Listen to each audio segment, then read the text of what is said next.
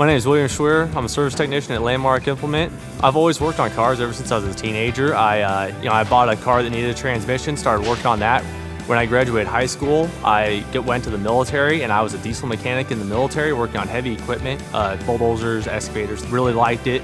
Um, and then when I got out of the military, I came back here because it's my hometown and I applied at Landmark, and Landmark hired me. I had, was already planning on going to SCC, and I talked to them that I was planning on going there, and they told me that they were uh, willing to pay for my schooling, I was extremely excited about that. I was like, well, that, that really works out good for me. And then they also told me that they were going to give me a bonus for my tools. They paid for all my tools, my schooling. So I mean, it was it was really nice to have all that covered, and I really, you know, it, it was a real real nice thing to have. I started out as a just a regular service technician, and uh, throughout my career here at Landmark, I have worked my way up to an advanced technician and a master technician, going through various schooling from SCC Milford to uh, then also taking several John Deere classes through John Deere University and becoming final tier 4 emission certified and getting my master's certification.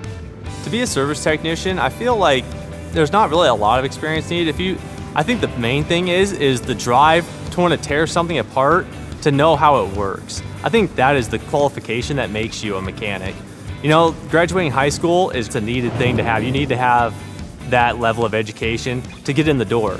Anything else, uh, there's people that will teach you. I try to go out of my way to help a lot of the younger technicians here and help them to, to further their education with it, giving them my knowledge of stuff that I've learned over the years of working.